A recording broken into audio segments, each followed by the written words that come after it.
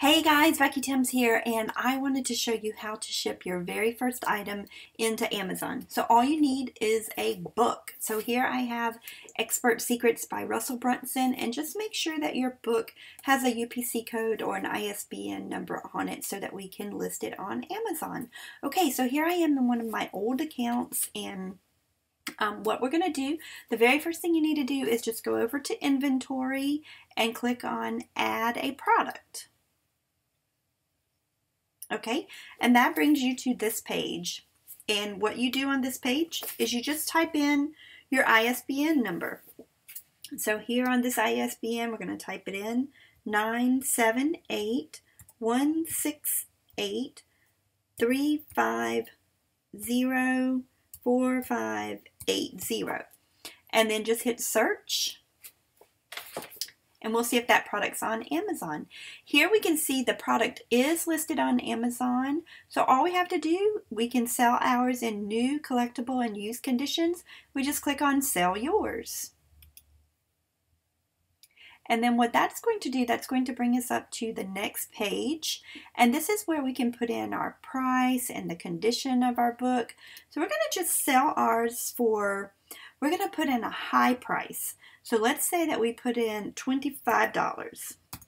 And the reason we're doing a high price is because just in case Amazon loses it, they're going to pay us $25 for our book. So then we're going to click, okay, it's not new. And here you want to describe your book like as accurately. So we're just going to put this one is used very good. Okay. And then you can say, I want Amazon to ship and provide customer service for my items if they sell or I want to ship this item myself to the customer if it sells. So what we're going to do is we're going to say we want Amazon to ship and provide the customer service. So we're going to click Save and Finish. Okay, and then when we do that, it's going to bring us up to this page and where it says, okay, we want, they want to show us what our, um, how we're going to send this item in. So we're going to say, um, barcode type, we're going to put save and continue.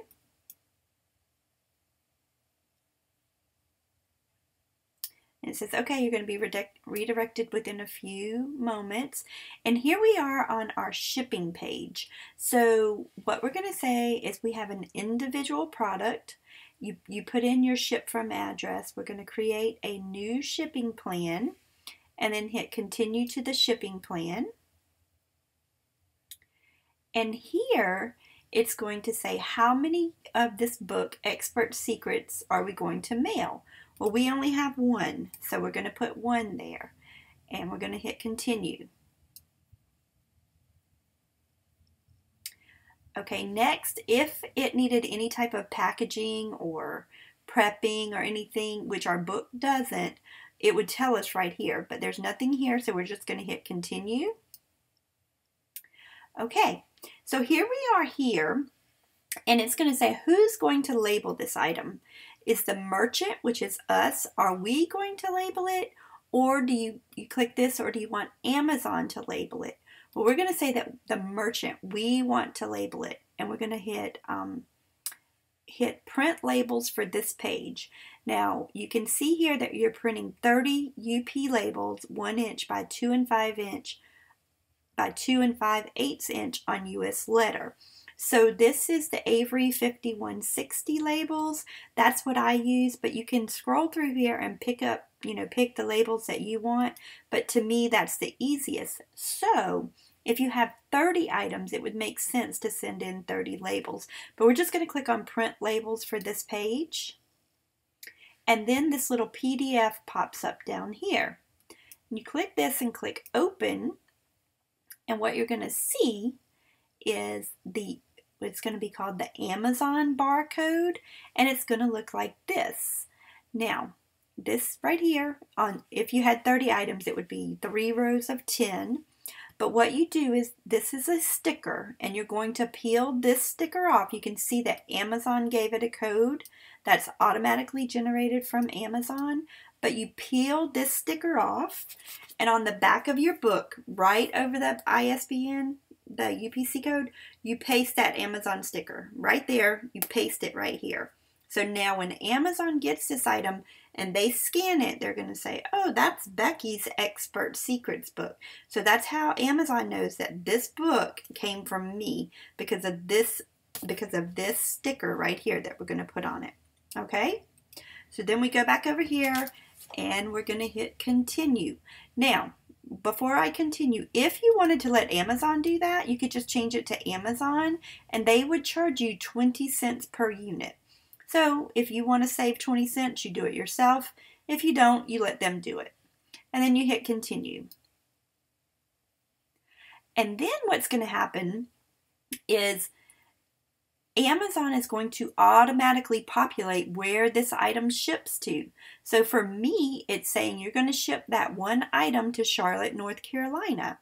Well, if you had 30 different items, it may say, we'll send 10 to Charlotte, North Carolina, send 10 to Columbia, South Carolina, and send 10 to Hebron, Kentucky. And you would have to go wherever Amazon says to send those. You can change the name here. So if you wanted to put, you know, books, um, expert secret, secrets, and that way, whenever this item gets to Amazon, you would know that Amazon received your expert secrets book. And then you would just click on approve shipment. Okay, once you click on approve shipment, it's going to bring you to this page. And on this page, it just says, okay, we're sending in one book, Expert Secrets. This is the shipment ID.